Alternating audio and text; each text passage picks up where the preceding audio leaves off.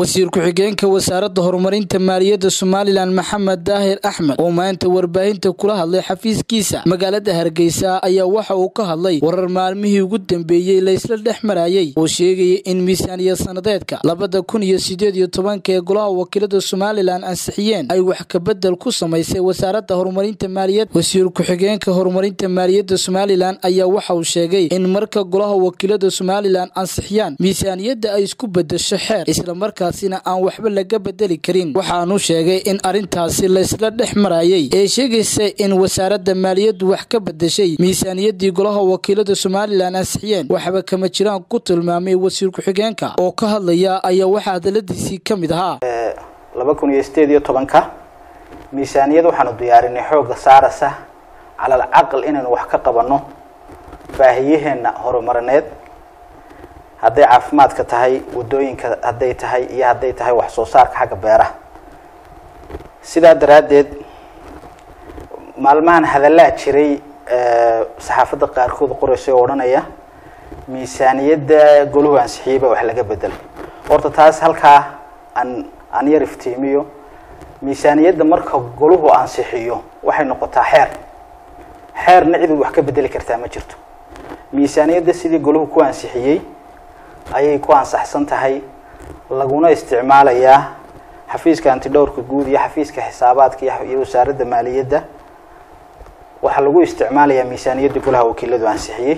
Cid wax ka bedeshani ma jirto cidda qorosele waxbaa laga bedelayna waa cid aan sharciga garanin dhanka kale wasiir ku-xigeenka wasaaradda horumarinta maaliyadda somalilan maxamed daahir axmed ayaa waxa uu hambaliyo u diray golaha wakiilada somalilan oo maalintii shalayto ansixiyey xeerka qandaraasyada qaranka somalilan isagoo sheegay in muhiim uu leeyahay qaranka islamarkaasina uu ka qayb qaadanayo kobcinta.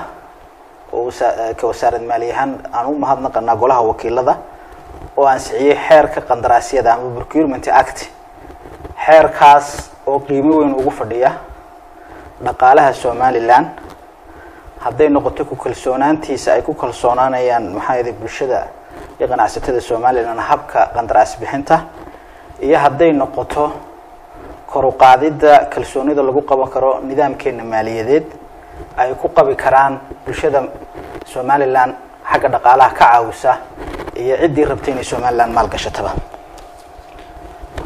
marka xeerkaas wasaaradda maaliyaddu in badan ka howlgashay sidii u hirgeli lahaa? Maalintii shalay baa la ansixiyey. Xildhibaanada golaha wakiiladana mar labaad waan ugu mahadnaqayaa. Wasaaradda maaliyadda somalilan oo hadalkiisa sii wata waxa uu ka hadlay tayeynta shilinka somalilan oo wasaaradda maaliyadda somalilan ku howlan tahay islamarkaasina uu u qaabilsan yahay baanka dhexe somalilan. Ka wasaarad ahaana ay la garab taagan yihiin baanka dhexe somalilan sidii shilinka somalilan u kobcin lahaa. Wasiirka oo ka hadlaya ayaa waxa uu yihi shilinka kor u qaadista tayadiisu amba qiimihiisu wakti ayay qaadanaysaa. Waktigaana bulshada somalilan waa inay ogaato in dhinacyo badan laga tayeynayo hadday tahay isticmaalkiisa. Oo maanta bulshada somalilan ay jeebadahooga dib ugu soo noqdeen inay shilinkii isticmaalaan amba mobile moneyha amba telefoonada ku isticmaalaan amba jeebadaha ku qaataan halkaasu kagama hadhana shilinka isticmaalkiisu waa mid ka go-an xukuumadda. Bangiga dhexaana uga mas'uula wasaaradda maaliyadduna way waxay bangiga dhexe la garab taagan tahay hirgelinta himiladaasi. Tayeynta shilinkeenu iyo la dagaalanka sixir bararkuba waxay u baahan yihiin kobac dhaqaale taasoo xukuumaddu ay ku guda jirto inay xool inay suuq u hesho xoolaheenna.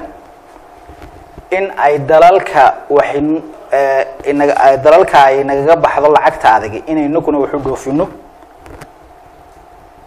iyo in aynu helo dhaqaale wax soo saar leh oo oo beeraheena iyo dhulkeena aynu ka soo saarano cuntadan faraha badan aynu soo dejisanayno marka xukuumaddu iyadoo cusub oo shan bilood oo qudhaata jirtay tallaabooyin xukuumado hore aanay ku dhici jirin bay ku dhacday ku dhiiratay ka midho dhalinta kobcinta dhaqaalaha iyo tayeynta shilinkuna waa brocess amba geedi socod.